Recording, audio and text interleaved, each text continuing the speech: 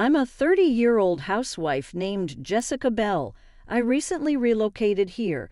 Though there is one annoying parent in the area, I have been progressively getting to know the other mothers. Jessica, are you dressing exclusively in brand names today? Tell me not to think you picked them only to impress me. That is untrue. I wear these clothing because I enjoy them without any specific purpose in mind. You want to flaunt your wealth, isn't that right? My younger sister, Cheryl, resides in the same neighborhood. My daughter and Cheryl's son are the same age. He attends the same kindergarten and goes by the name of Solomon. It appears that Cheryl does not think highly of me. She often makes snarky comments about me and appears to be telling the neighbors negative things about me. But it's odd that she's still reaching out to me. She is my twin sister, and our parents have always compared us to one another. We are probably fraternal, which explains why most people do not know we are twins. She has always felt competitive towards me, even though I was never really troubled by it when we were growing up. I made an effort to avoid being close, save from family events, but I was forced to relocate to her neighborhood owing to my husband's work transfer. She mentioned something about bringing her kid to visit that day. When you have guests, won't you at least offer a cup of tea? Wait a little while. I'll have it ready now. You have those well known munchies ready too, correct? I have them ready because you asked me that yesterday. I'll take them out right now. This was how Cheryl was always unreserved. Her attitude was apparent, especially on that particular day. Cheryl started nosing about the home after consuming a large amount of tea and cookies. Isn't this a new model of bag?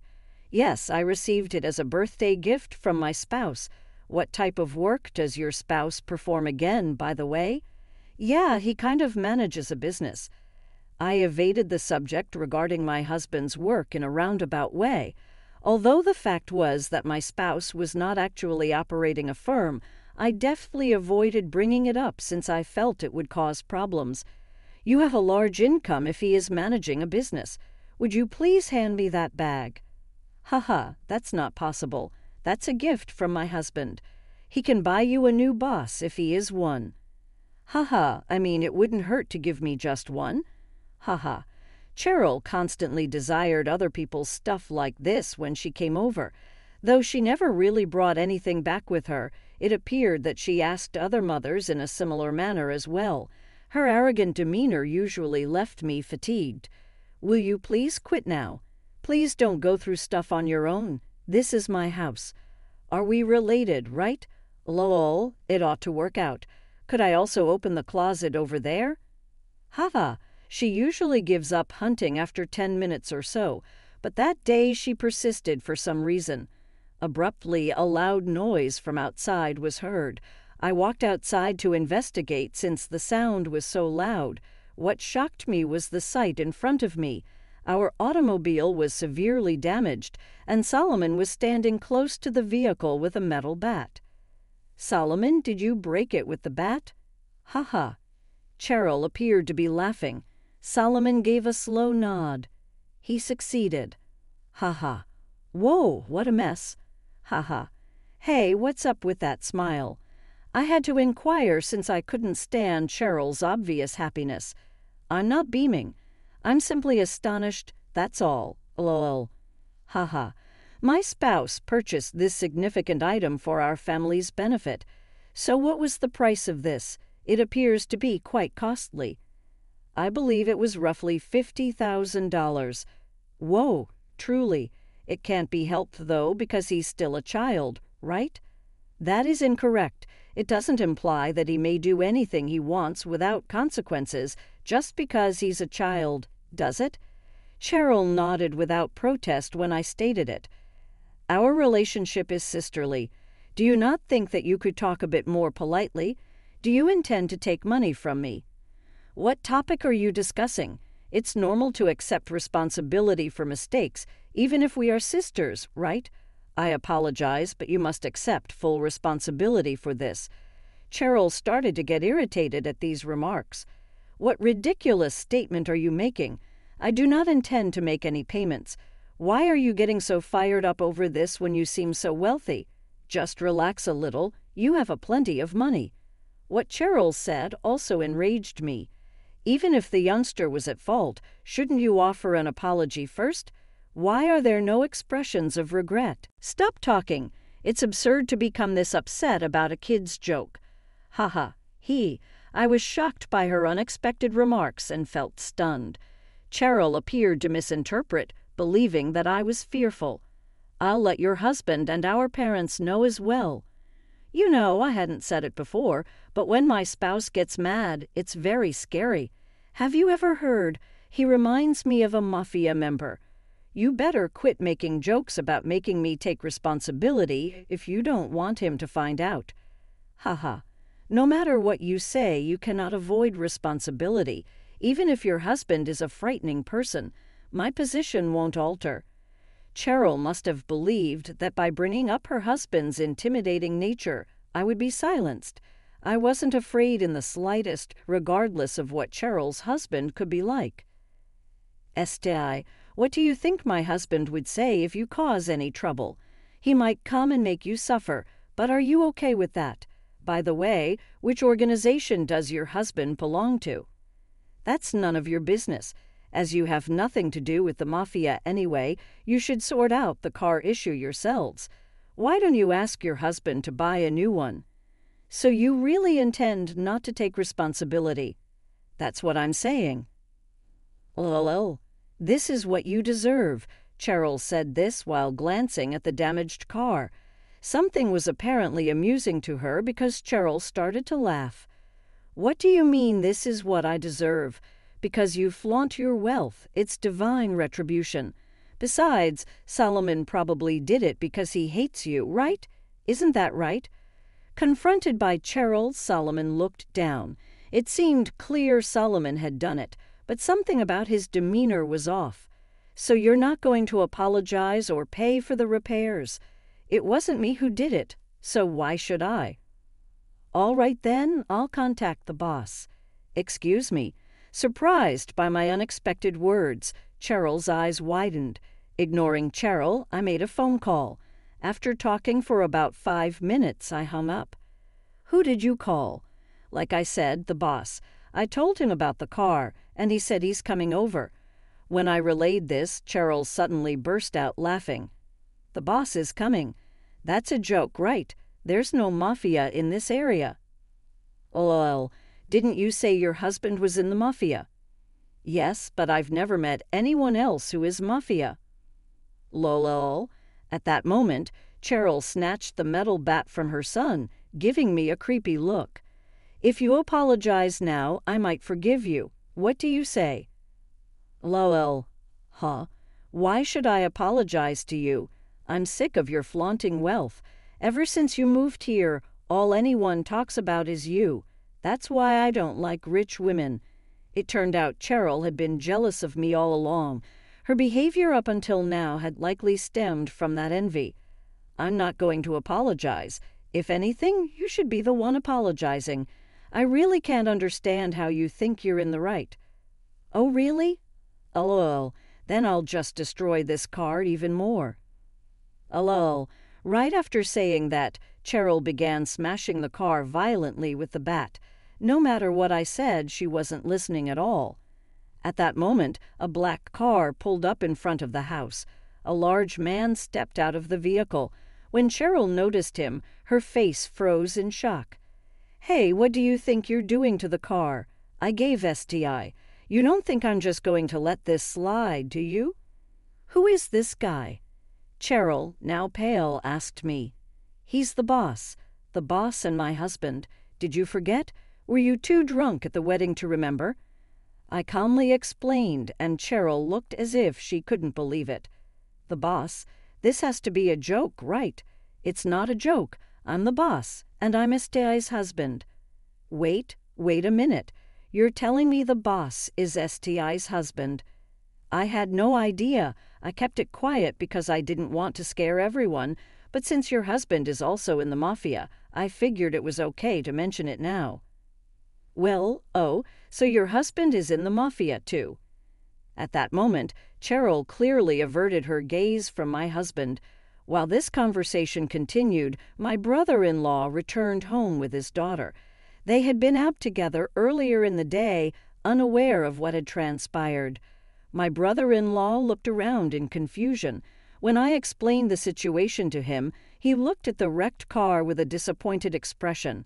It was such a nice car that you received as a gift. I'm sorry. You don't need to worry about it. It's not you who should be apologizing, but this woman who needs to clean up her mess, my husband said sharply, glaring at Cheryl. This was just an accident. It's no one's fault. Just an accident. It was your child who did it, right? Parents are responsible for their children's actions. Don't you even understand that? I'm sorry. Make sure you take responsibility for what your child did. Ideally, I would want $200,000, the price of the car, but I'll settle for $150,000. Got it. Hearing the figure of $150,000, Cheryl's face turned pale instantly. She then began to plead with us. I'm sorry, I don't have that kind of money. You don't have it. It was your child who damaged the car, right? And you were hitting it too, weren't you? I'm truly sorry. If apologies were enough, we wouldn't need police. My husband continued, his gaze fixed sternly on Cheryl. Cheryl's expression grew so distressed it looked like she might cry. Isn't your husband in the mafia too? What organization is he from? My husband's question was met with silence.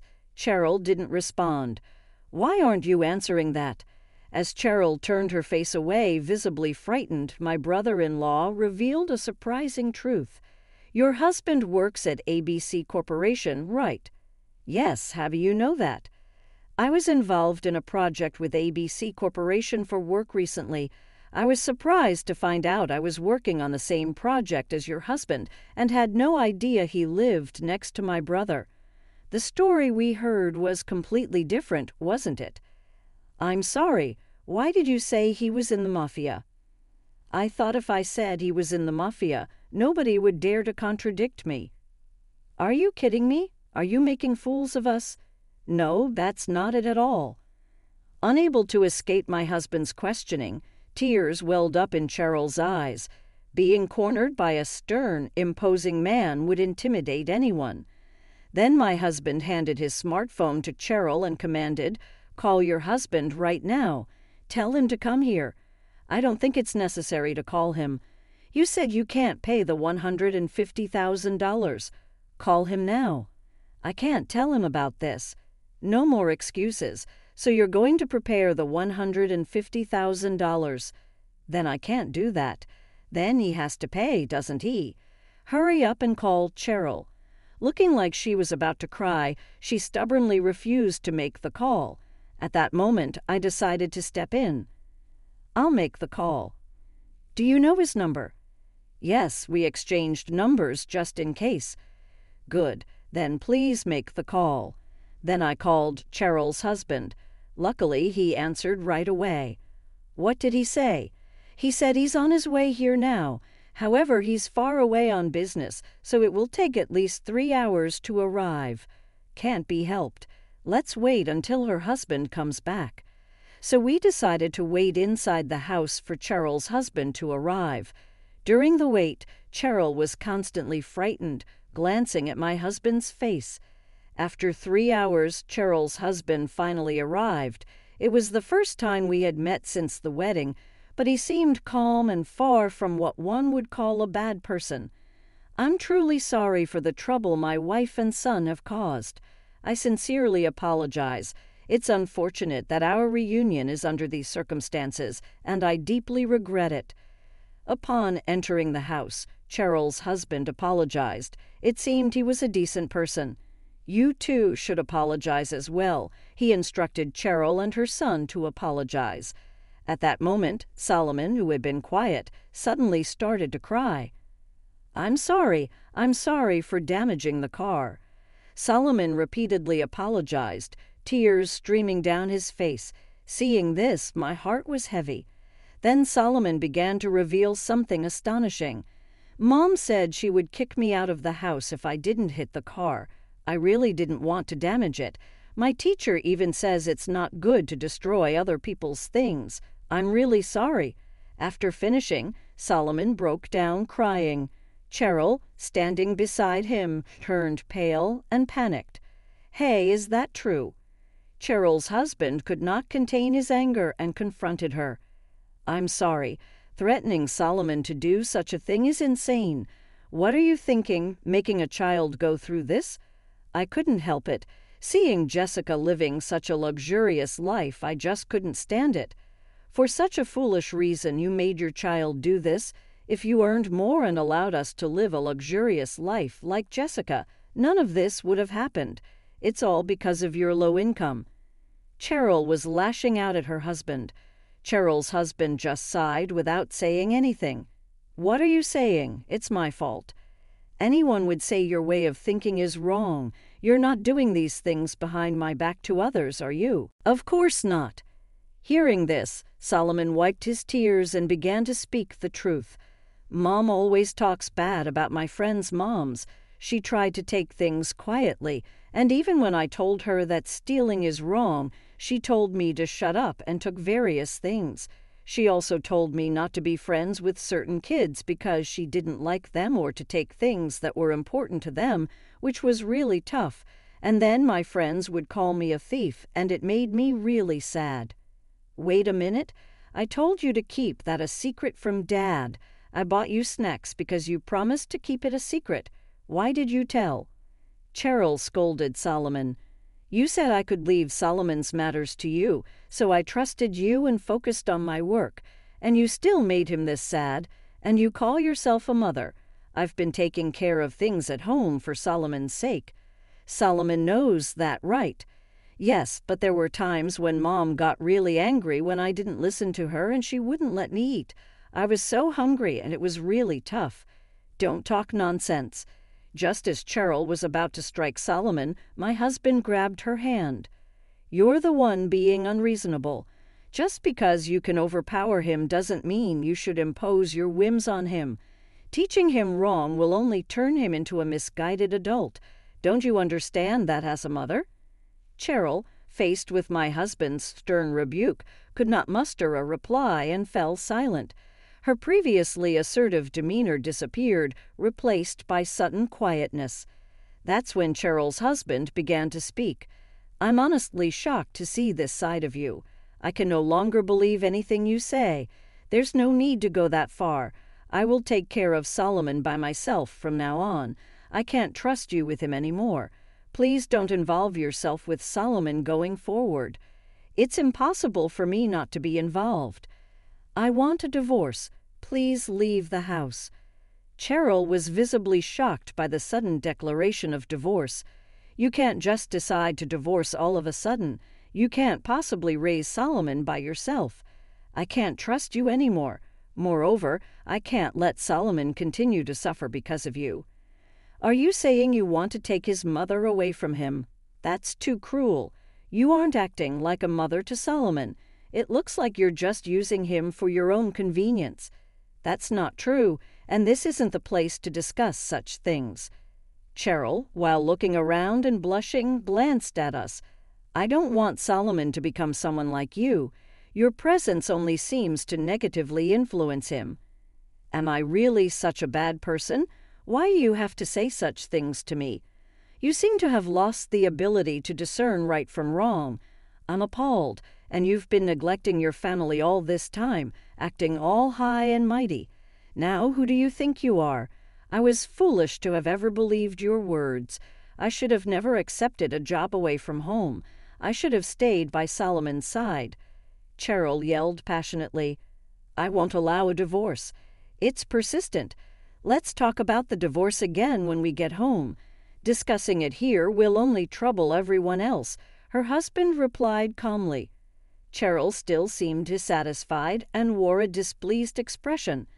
After a moment of silence, my husband quietly resumed the conversation, returning to the original topic. You will be responsible for all the repair costs of the car, right? I can't possibly pay such a large amount, and we haven't settled the matter of the divorce yet. I've said this multiple times, but you have to take responsibility. It might have been the child who did it, but you made him do it. You can't blame the child anymore. You need to clean up your own mess without making excuses and dragging others into this. My husband said sternly to Cheryl, Yes, but $150,000 is simply beyond what I can afford. I'm a housewife with no income. I can't prepare such an amount. Could you please consider reducing it just a bit more? Cheryl pleaded meekly with my husband. However, my husband coldly responded, No, I've already cut down the amount significantly. By asking for $150,000, I can't reduce it any further. Hearing this, Cheryl looked desperately at her own husband. It was Solomon who did it. Can you please cover half the cost? Why should I pay half? We're getting a divorce, so it's no longer my concern. I know we're divorcing, but this isn't just about the divorce. It's about Solomon and our family. You can't just say it's none of your concern. Cheryl, on the verge of tears, clung to her husband, but he refused to nod in agreement. It was you who made him do it, so it's not my problem. Plus, I'll need money for Solomon's upbringing going forward. I'm just an ordinary man with a modest salary. You know I can't afford such a large amount. You caused this, so you need to take responsibility yourself. Seeing that even her husband had turned coldly away from her, Cheryl faced another blow when Solomon also spoke up against her. Mom, you're being scolded because you did something wrong, right? Dad didn't do anything bad, so I don't think it's right for him to apologize or pay money. You're saying that too, Solomon? You don't love Mom anymore, do you? I don't love you anymore. I hate it when you're always angry. I want to be with Dad from now on. I don't want to be with you. Solomon said this and turned away, sitting down on the sofa. Cheryl seemed shocked by her son's rejection. Then she turned to me with a pleading look. Say yes, I apologize for everything I've done to you. I was wrong. I truly regret what happened with the car, so could you please consider waiving the repair costs? If things continue this way, even my parents might abandon me. I really don't have any money. I'm sorry, but I can't make the repair costs zero. As I spoke clearly, Cheryl's eyes began to well up with tears even more. Why would you say that? Aren't we like sisters? We've been getting along all this time. You could help me out a little, couldn't you? Getting along? That's hard to ignore. You've been spreading rumors about me to the other moms, dumping trash at my house, and weren't you the one who left a dead animal at my doorstep? Where's the getting along in all of that? I regret doing those things. I already told you that the car was a gift from my husband to me and our family. How can anyone forgive having such a gift destroyed? I couldn't forgive Cheryl and dismissed her with these words. Hearing this, my husband offered her a suggestion. In that case, why not work at a factory to earn the money? I have a connection there. They were looking for workers, and I think you could start working right away if I call them. What kind of job is it at the factory? It's not dangerous, is it? It's not dangerous. It's certainly better than working on a fishing boat. It does require some physical strength, though. I might find it difficult to do physical work. Cheryl hesitated, showing reluctance to take on a physically demanding job.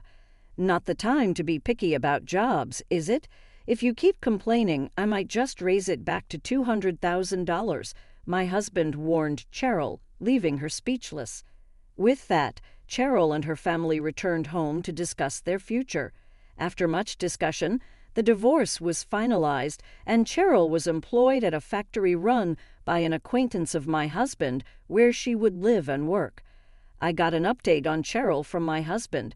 Your sister is struggling quite a bit since she has little work experience, but the place is full of tough looking guys like me, so she doesn't talk back at all and just keeps working quietly. It must be tough working surrounded by people who look like you, I joked. Tough. Maybe we look intimidating, but we're all good hearted, he laughed. Really? That's funny to hear from you but earning $150,000 seems like it will take a long time. Cheryl might even quit the job halfway through. No need to worry about that. If she quits, I've made it clear we'll follow her until she pays off the debt. And what if she tries to run away? Well, then we'll have to track her down, take out insurance, and put her on a boat, won't we? He joked with a laugh. Scary, I laughed along. Cheryl even went to her parents, who had given up on her, to beg if they might help with a little portion of the cost. In the end, her parents chose to break their relationship with her and refused to pay her a single dime. It appears that even though they had a great affection for their daughter when she was younger, they had had enough of her recent actions. They certainly wouldn't want to deal with a selfish daughter who would hurt her own kid. In addition, friends and family learned about the incident and began to steer clear of Cheryl.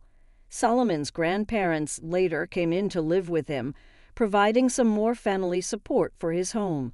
Cheryl's ex husband's parents are now involved. Cheryl's ex husband chose to ask Solomon's parents for assistance because he thought parenting Solomon by himself would be challenging. Claire's mom. Greetings, Solomon. Isn't it great to have such lovely weather today? Yeah, I've been anticipating this day, Solomon said, grinning broadly. Solomon's family has been spending more time together since Cheryl departed, and they had made a vow to visit the theme park with the new automobile my husband had purchased. I typically ride in the rear and am driven by my subordinates, so it feels weird to see you behind the wheel. I've got to keep you all entertained when I'm with relatives. I'm a little awkward about it. You take care of our daughters every day, so today you can lean on me. My spouse is a fierce mafia figure, yet at home he's kind and kind. My spouse and Solomon have become close friends. Solomon, are you sad just having dad? Happy. In addition to dad, I also have grandpa and grandma. You're correct. Claire and I are also present. Claire enjoys playing with Solomon a lot. Me too. When Solomon answered, he flushed. My daughter and Solomon grin more these days than they did earlier. My daughter enjoys playing with Solomon a lot as well. In this town, I wish to continue creating joyful experiences.